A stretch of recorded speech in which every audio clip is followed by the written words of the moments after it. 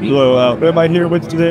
Uh, Patrick Reinke. Uh, go ahead. Category manager for electrification for Mercury Marine. Hey.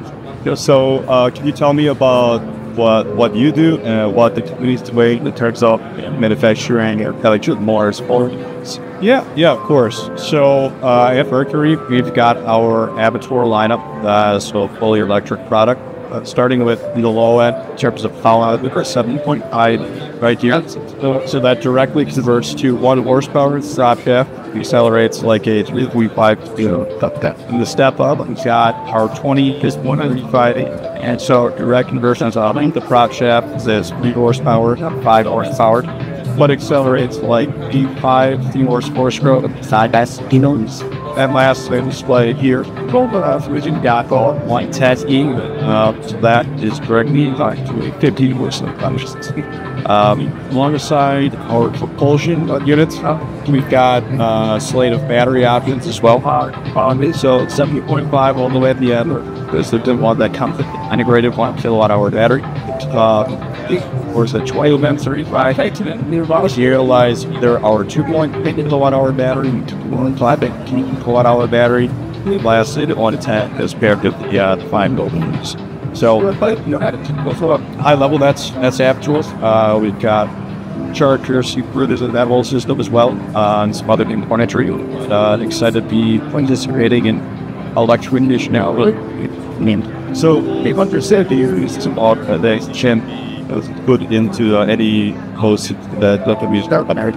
Yeah, yeah. So right now, uh, on the one horsepower side of things, we're seeing a lot of applications around tenders or dinghies, sail market, some small fishing vessels. Uh, and to step up into power, get into some more traditional vessel types. So the, the right here, the issue goes, it's small about that wings. Right? I'm the 110 I mean, it, it should be depending on what, kind of boats it is, but yeah, how, how long is it does a battery last? Yeah, so all of our Avator products and the standard system uh, were designed to hit one hour's worth of runtime and the recover. But on certain vessels, if you decrease your power output to let's say 50%, then you get a lot more out of it. So this been these five hours, so 25% running pretty much all day. So it depends how you run it, uh, depends on the vessel type. Uh, but it's not necessarily a linear Good. So if we for another cheap thing, make sure uh, this my first line told me the same uh, was battery battery velvets. And uh, do you know anything about the new gesture for electric charging? Yeah, so with our Avator product right now, it's uh, 48 volt architecture. Um, so our chargers can plug into E110 uh, well, the, the trainer lit by so having ways interrupts and between this listing master. So um, we're a concept over there, which uh, this board is, is purely a concept. Um, we would uh, incorporate level two chargers in them, enable these faster peanuts, uh, and then how long does it take to charge with under 10 persons. So for these guys, we got a pretty different charging options. Um, as to what can stick from 745 is a 230 watt charger. Um, so that'll be charged uh, our one kilowatt hour pack. Drink the ramp out. It's a code. Um, that can upgrade to our 520 watt charger, one kilowatt hour battery. That'll cut the charge back down to less of our stuff. We'll some other other packs uh, to the one the lower pack is very was getting at the watch and the leap from tower to watch there. But it's because I've what is my point of on a actually have uh, 1050 voucher uh and you yeah. have it this is stuff that there multiple chargers yeah, together to uh, and then uh, what do you see in the future of the electric voltages and new state yeah, yeah, it's uh, it's a very exciting segment to be in right now. Uh, it's what we they pretty much at its slightly past infancy, uh, but has a lot to cope, uh, especially in the low horsepower circuit right now, and that's where compromises uh, um, and I guess feasible enough to be considered. Uh, as battery psychology and motors now that uh, it makes see much more kind of innovation and uh, exposure to the high horsepower market right now. Low voltage is where it makes sense for us. We're happy to be a part Guard, thank you for your time. Awesome. Thanks, Doc, for sharing the See you. Hello, so am I here with today? Hi, my name is Brian Brian Brost. I'm Director of Product within the Oshkosh Corporation. I specifically work for McNeilus. Uh, we're a company within Oshkosh that builds uh, refuse collection vehicles for CO9 people. So, and then what are some other benefits that are that is or uh, just go towards our facility? Sure. So Oshkosh Corporation, so we were founded in 1917 uh, and the primary path was around drive technology. And so, you know, for the, the past hundred plus years, um, you know, we've used been with many different applications. So right now, you're standing in the neighborhood of future. So the vehicles that you see here are in our, our segment. So we build rep, uh, trucks for the refuse segment.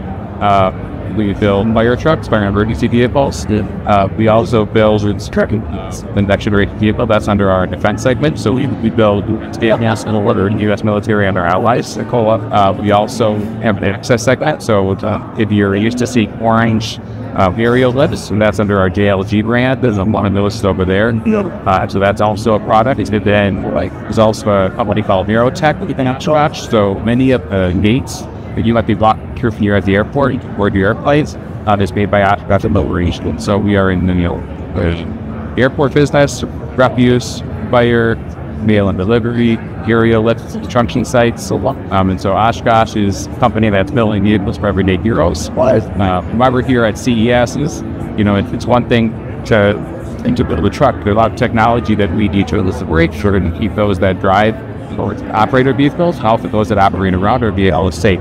And so using autonomy, using artificial intelligence, using that solution to, to bring the better technology to our trucks and to make see what use them best at the time.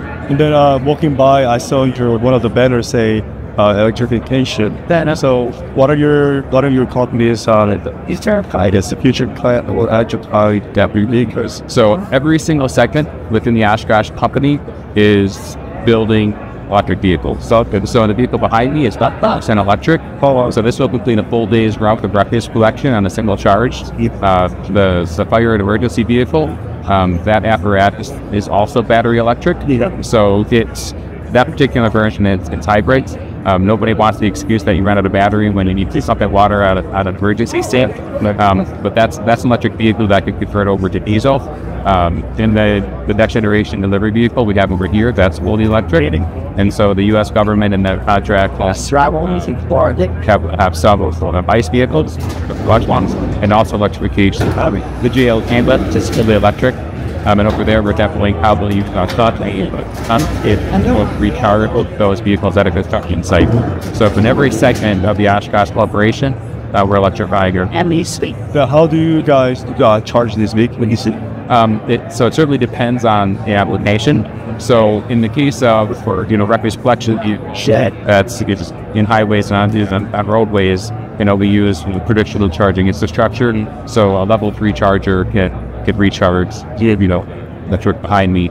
Um, in the in the case of you know construction site where you're not just you know, normal charging stations where you're going to drive up your lift.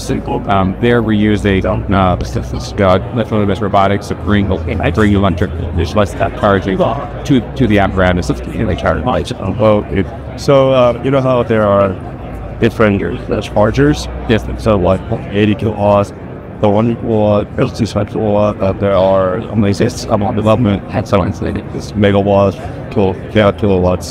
So what are some of the charging what are what are the charge intelligence like yeah. do you have us in terms of that how it's like? Yeah.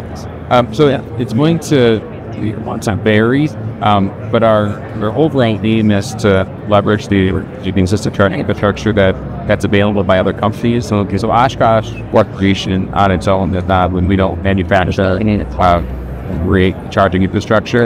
Um, we can work with other companies that are out there and make recommendations to our customers um, in order to uh, establish that, that infrastructure for them. It, is, it does not already exist.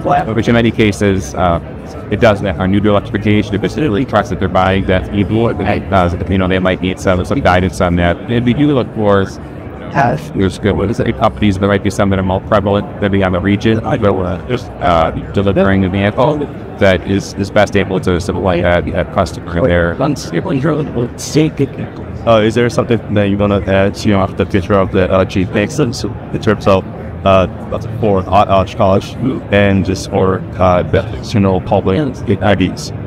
Um, you know, I guess what, what I would say is, uh, you know, from the Oshkosh perspective, it's one thing to you know, put, take better technology and look for for vehicles. Um, Oshkosh is very thoughtful in place of strips and how we do this. It's, we don't want to say that as much. We actually want to make sure this to do the job that it's designed to do. So we don't have to be a recycling route or refuse route. Just going to do that. We need to be able to like, operate in uh, a construction zone around the streets delivering mail or at, at, a fire scene. We want our, our technology to be reliable and best in class. That's where Oshkosh is stated out. And I think that's very schools that are strict. I know I think we could. Thank you. Thank you for your time. But you can reach from the